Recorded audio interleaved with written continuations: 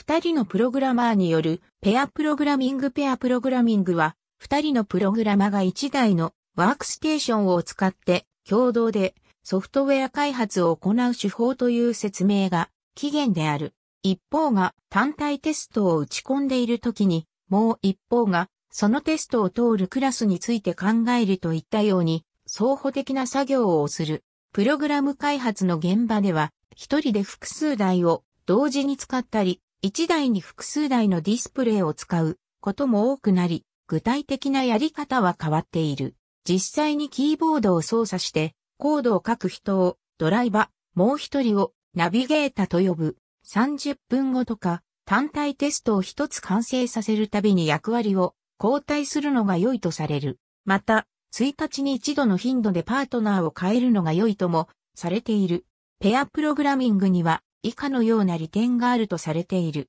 上に挙げた項目ほど重要である根拠を示していない。ペアプログラミングの生産性は、一人で作業した場合の2倍以上であることが研究によって示されている。エコノミスト氏によると、ソルトレークシティ、ユタ大学のローリー・ウィリアムズによれば、ペアプログラミングでは、二人のプログラマが個人で作業した場合と比較して、コーディング速度が15%低下するが、バグの数も15%少なくなる。テストやデバッグにはコーディングよりも時間がかかるので、この調査結果は興味深いなお、ローリー・ウィリアムズは、現在は、ノースカロライナ州立大学の准教授である。ウィリアムズ他の調査によると、プログラムの正確性は15%向上し、時間的には20%から40%程度の削減となり、最終的な成果としては15%から60%の効率向上があるとされているが、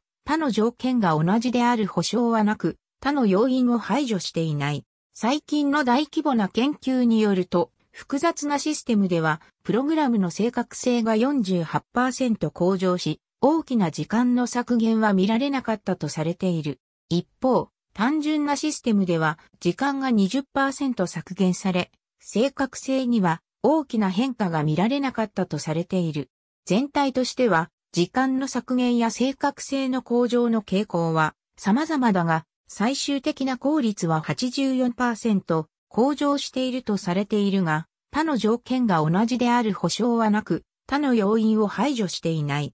別の最近の研究によると、上級者一人の場合と上級者同士のペアとの間での生産性向上よりも初心者一人と初心者同士のペアを比較した時の生産性向上の方が大きいとされている。利点の裏返しで弱点も存在している。また、利点に安住するリスクもある。テレワークなど何らかの理由で遠隔地で作業する場合は、文字を入力するたびに相手側のコンピュータに変更がリアルタイムで反映されるエディタや統合開発環境のプラグインを使用したり、画面転送のためのソフトウェアを使用したりして行われる Git、Docker などを利用し、同じソースの設計と試験を同時に分担して書いたり、お互いにイシューを発行しながら、お互いにクローズし合うなどの方法を使うこともある。EN、エクストリームプログラミングプラクティススコーディング、スタンダード、